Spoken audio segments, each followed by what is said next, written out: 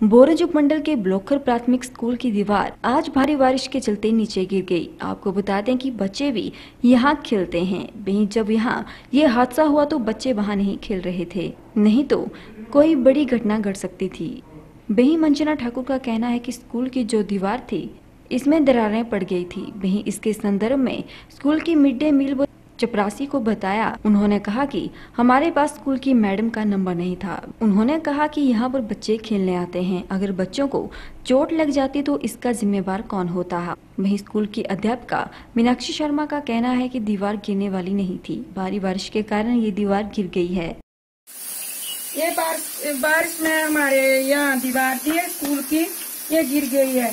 तो जब इस दीवार में दरारें आई थी तो हमने मिड डे मील वाली को बुलाया और पीएन को बुलाया। यहाँ पे कि अपनी मैडम को फ़ोन करो हमारे पास तो मैडम का नंबर नहीं था। तो मैडम को हम उन्होंने कॉल की फिर मैडम ने भी मौके मौका देखा यहाँ पर।